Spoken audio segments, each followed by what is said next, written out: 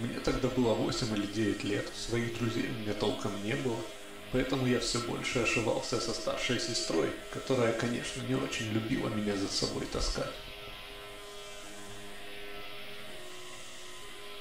Сестра на 5 лет меня старше и в середине 90-х была подростком. Жили мы тогда не особо богато, развлекали себя как могли.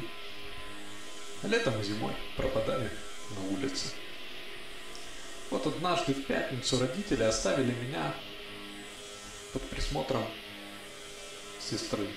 Сами ушли в гости на день рождения подруги мамы. Это была то ли поздняя весна, то ли раннее лето. Погода была отличная.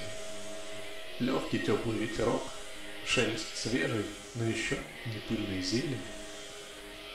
Сестра с двумя своими подругами и со мной в придачу долго болтала, сидя на лавочке перед подъездом, обсуждая школу, мальчиков. В общем, настроение у них было приподнятое. И спускающиеся сумерки наводили больше романтики, чем желание расходиться у них по домам. Во всех пятиэтажках нашего двора уже давно горел свет в окнах, а фонари еще не зажглись. Тусклые отблески освещали тротуар вдоль дома. И тут мы все затихли и повернулись к Кате, одной из подружек сестры, самой тихой и спокойной девушки. Та сидела как вкопанная и была бледной. И мычала что-то бессвязное. Мы вслушивались и поняли, что она без устали повторяет ноги, ноги, ноги, тыча при этом пальцем куда-то в сторону дороги. Когда мы повернулись, то оторопь охватила нас всех. Мимо нас, над тротуаром, буквально плыл мужчина в темном пальто и шляпе. Да, именно плыл, потому что ниже колен у него ничего не было.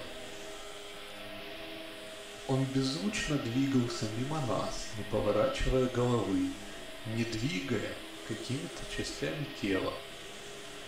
И также беззвучно растворился в темноте, уходя из освещенной части тротуара.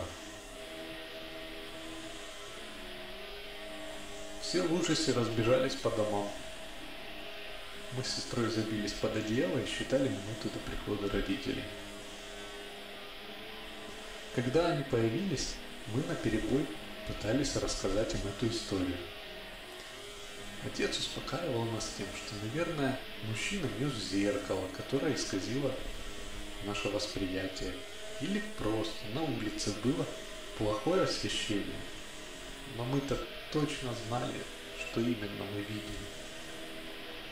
И только через два года я узнал, что в ту пятницу одному из наших соседей